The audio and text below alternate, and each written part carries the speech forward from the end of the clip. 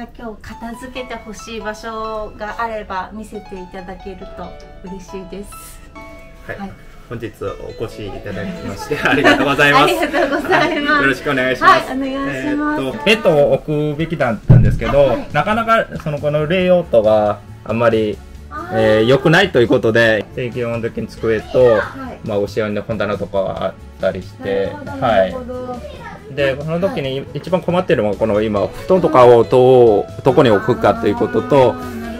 あまあ、断捨離がまだできてないということもありまあると思いますけど。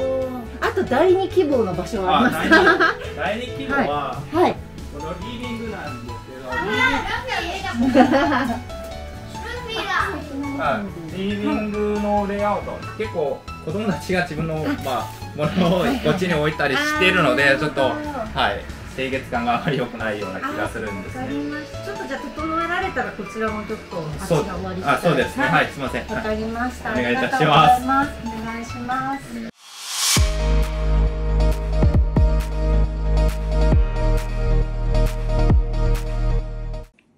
皆さんこんにちは整理収納アドバイザーの梶ヶ谷陽子ですそれでは今日も解説の方させていただきたいと思いますえ今回伺ったご家庭は、まあ、共働きのご夫婦で本当に忙しく毎日ね働いてらっしゃる、えー、方のご家庭に伺いました、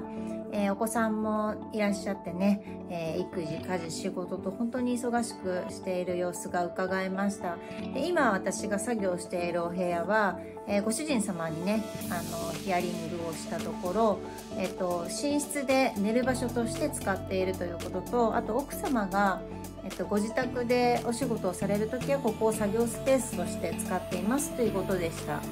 でねご主人様がすごく悩んでいらっしゃったのが、まあ、布団の置き場とあとベッドを入れる予定だったけどちょっと配置がいまいちってレイアウトがいまいちっていうことで、えー、ご相談をいただきましたこれねあのー、まあ、最後の方見ていただければわかるんですけど本当にこの、えっと、お部屋はベッドのレイアウトっていうのがあの難しい間取りなんですよね。で、えっと、結果から言うとご主人様が今ご主人様がというかこのご家庭が今布団を敷いてる形がやっぱり一番ベストなんですよね。あのー、窓側に頭を向けてベッドを、えっと、並べる形っていうのもちょっと考えてみたんですけど寸法的にドアに引っかかっちゃうんですよなのでドアの開け閉めができなくなっちゃうんですね。ベッドをそのように置くと。なのでえっと窓側をこう側面として、えっと、頭をこ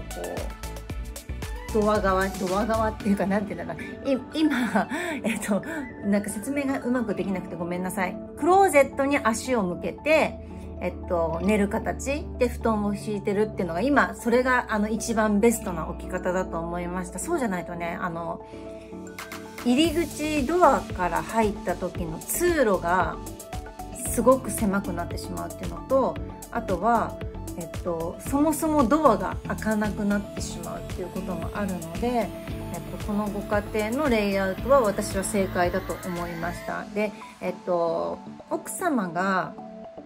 えっと、お仕事されるデスクの場所もここが一番最適な場所だと私は思っています。やっぱりあの前回の動画でも言ったんですけど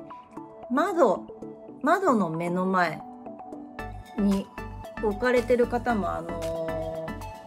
ー、多いと思うんですよ。うちも娘は窓の目の前にデスクが置いてあるんですけどやっぱりこう光が入りすぎてまあ、勉強の最中は眩しかったりだとかあとはねあの電気機器をずっとそこに置く場合は余計その直射日光とかが当たってしまうのであんまり良くないので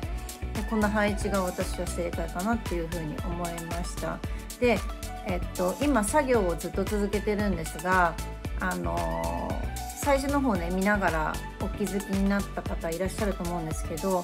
このご家庭のクローゼット間口がすごく狭いんですね。でこれねあのこれから家を建てる方は特に本当に考えていただきたいのがクローゼットにドアをつけるかつけないかって悩む方非常に多いと思うんですけどあのドアをつけることのメリットって例えば来客時に隠せるとかえっと、ドアを閉めればすっきり見えるっていうことが多分最大のメリットだと思うんですけど暮らしっていう部分で考えると直結して考えると私はドアがない方があの間取り的にもいろんなレイアウトできますしあとは間口がドアつける分狭くなるのですごく使いづらくなったりしてしまうのでこれから家建てる方は本当にねクローゼットのドアあるなし問題は本当に考えた方がいいと思います。あの特にこういうふうにこう引いて開けるタイプだとその開けた時の寸法を気にしてレイアウト考えなきゃいけないのですごい大変なんですよね。えー、ということでちょっとね話をしてる間にクローゼットが閉められてしまいましたがあのこのクローゼット最初私が見た時にあこれ絶対に直してあげたいなと思ったのが引き出しが横向いて収納されてたんですよ。なので、えっと、ドアを開けて引き出しを普通こうやって引くじゃないですか使うためには。それができない状況になって横向いちゃってたのでどうにもこうにももう引き出しが活かせる状況にはなってなかったんですね。なので私が一番最初にしたことはまずは、えっと、床に広がっている布団えー、布団とかそういうものを畳んで、えー、皆さんってさっきお気づきだと思うんですけどクローゼットの中に IKEA の大きいあの布団収納とか人気なやつがねいくつも、あのー、置いてあったのでそれを使って、えっと、オフシーズンの布団はまずは片付けさせていただきました。やっぱりあの出てることによってねちょっとスペースがあのない状況だと片付けっていうのもうまくなかなかできないのでまずはそれを、えー、しまいしまわせていただいてその次に私がしたことがあの引き出しをこう活かせる状況でこう入れるということはその分のえっと、下の部分は引き出しの寸法で取られてしまうのでそこは物がもう置けないんですよ。引き出しプラス何かちょっとしたものしかサイドに置けない状況だったんですけど引き出しさえ生かしてしまえばあの引き出しの中もまだまだ入れ方を変えれば全然入る状況だったのでこれは生かすことにしました。で今見ていただくと分かるように引き出しのえっと、左側ですね。左側は丈の長いものを、えっと、収納するようにして右側は丈の短いものを収納するようにしてでなるべくもう引き出しに限度があったのであのこの引き出しってワイドじゃないじゃないですかサイズが。なので収納できる量にも限りがあったので、えー、その引き出しにはもう入れれないっていう状況になってしまうのでなるべく、えっと、ハンガーを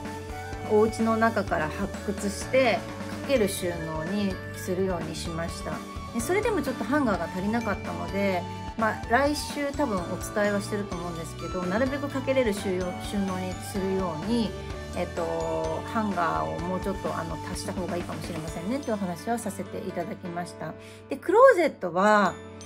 あのこれね皆さんに本当にお伝えしたいんですけど忙しい人だったりあとはお子さんの部屋の収納だったり、お子さんが使うものの収納だったり、この後リビングもやりますけど、そういう人が使う場所ほど入れ方気にしてみてください。それは収納するものの入れ方もそうですけど、収納用品の入れ方もあの気にして作り上げるようにしてみてください。結局入れ方が難しかったり入れ方が複雑だったり入れ方が悪いと維持できないんですよ。結局その収納を活かせないままいろんなところにポイポイポイポイして家の中が散らかって圧迫されちゃうのであの何に関しても忙しい人ほどお子さんが使う収納ほどあらゆるものの入れ方を気にして収納を作るようにしてみてください。これねあの後でビフォーアフター見ると分かると思うんですけどこのクローゼット最初は入れ方が悪くてその引き出しの入れ方が悪かったりだとか、えっと、洋服の入れ方が悪かったりだとかして最大限の収納スペースを使えない状況だったんですよ。ですが入れ方を変えて引き出しも有効活用することでクローゼットにいろいろんなものが収めることができたのでシーズンオフの布団とかも収めることができたのでかなりねあのこのお部屋自体のものっていうのがあのしっかりとクローゼットに収まってえー、広く見えるようになってきたと思いませんか？これ。ちょっとすいません。なんかあの説明が下手くそで申し訳ないんですけどこれは多分ねビフォーアフタ見ると一番感じていただけるのかなというふうに思ってます。で、えっと、クローゼットが終わった後は私は本棚プラスあそこにあの収納のカートみたいなありますよね。右側に右の奥に。これあの IKEA とかでも売ってるじゃないですか。この3段でキャスター付きの収納。一時期本当にバズってどのご家庭に伺ってもこれがあるなっていう時があったんですよ。作業に伺うと。でもどのご家庭に伺ってもこの3段のキャスター付きのこのカートというかこのキャスター付きの収納がなんか使いづらいんですって皆さんおっしゃってましたね。それはもう私自身はあのこれを見た時から使いづらいだろうなこの収納はって思ってて私は手を出したことがないんですけどやっぱりあの一番使いやすいのは上段だけであの2段目3段目って非常に使いづらい収納になりやすいんですよね。あの収納物がその間と間の高さに対して低いものを収納するなら全然出し入れしやすいんですけど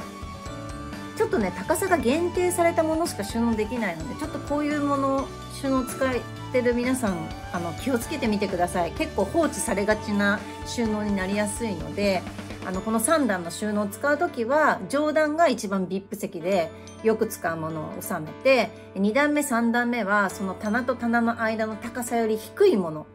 だいぶ低くて手がスッとこう入れれる高さのものを収納してると使い勝手が良くなるので、そんな風にね、使ってみたらどうかなっていう風に思ってます。で、えこの時ですね、あのー、いろいろお片付けをしていたら、無印良品の、えー、っと、ワイヤークリップだったり、挟める、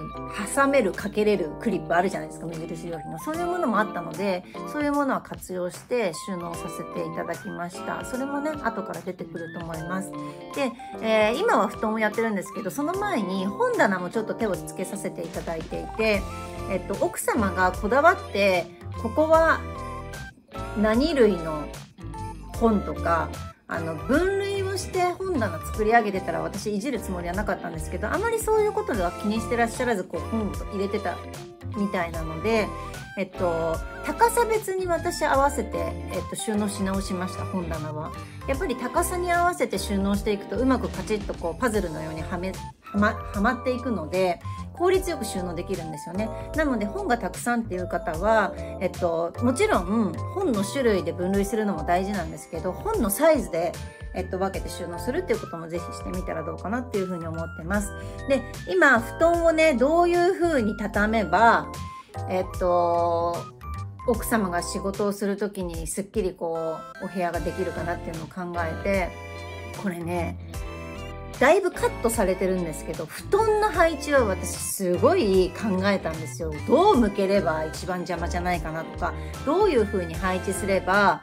1回、2回、3回であの効率よく畳めるかとか、そういうのも考えながらこの時はやらせていただきました。そちらはね、えー、来週ちょっと楽しみにしていただければなというふうに思っております。えそして今行っているのが、今度はリビングですね。リビングね、とても日当たりが良くて素敵な、あのー、リビングでした。で、旦那様自体は、ここのね、えっと、お部屋を見せてくださった時に、えっと、レイアウトが合ってるのか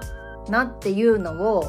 えっと、心配していたんですが、レイアウトはね、バッチリこのままで全然大丈夫なんですよ。逆にソファーの向きを変えてしまったりだとか、あとはダイニングテーブルの向きを変えてしまったら、えっと、ソファーもダイニングテーブルもかなりサイズの大きなものを使ってるので、逆にね、部屋が圧迫されてしまったりだとか、使いづらくなってしまったりだっていうことが起きてしまうので、この配置は私、あの、正解ですよっていうのはね、あの、その時にもお伝えさせていただきました。で、えっと、散らかってしまう原因が先ほども私お伝えしたんですけど、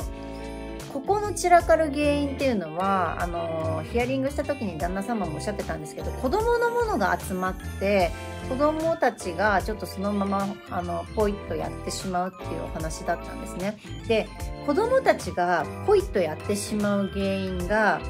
えっと、元に戻す場所自体の収納があの戻せない状況だったんですよ。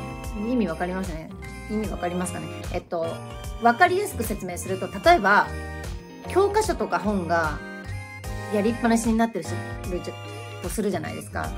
絵本とか本がやりっぱなしになってるとしますよね。じゃあそれを隣の本棚ソファーの隣の本棚にしまおうかと思った時にもうパンパンの状態なのでしまえない状況だったりだとか本がこう崩れてしまっているのですぐに戻せる状況じゃないからポイってなっちゃうっていう状況だったんですよ。でおもちゃも同じですね。おもちゃも片付けようとしても片付ける場所の収納がもうぐちゃっとなってしまっていて戻せる状況じゃないのであのどうだどうやって戻せばいいのかなとか、まあ、じゃあここに置いちゃえばいいやっていう形の、えっと、収納になってしまったのでそれは改善するようにしました。なのでこのご家庭の整理収納のポイントとしては本当に入れ方収納用品自体の入れ方あとは収納するものの入れ方を徹底的に変えました。あの分類をしてえっと、サイズ別にしたりだとか種類別にしたりだとかあとは戻せるだけの余白を作ってあげるとか、えそういうことでお片付けをさせていただきました。あの仕組みさえできてしまえば戻せる場所ができればお片付けって楽なんですねどんなに忙しくてもどんなにあのちっちゃいお子さんでも戻す場所さえ明確で戻す時とても楽だと、えっと、しっかりと戻せる収納になるのでそれをさせていただいたという感じですね。ということでなんだかんだ話してたらもうあの終わりに近づいてきましたね。えっとそんな感じで、えっと、入れ方を変えさせていただいてえっと、収納を作り上げたという感じなので、ぜひ来週ですね、最終的にはどうなったか楽しみにしていただければなというふうに思っております。それでは皆さんまた来週会いましょう。さようなら。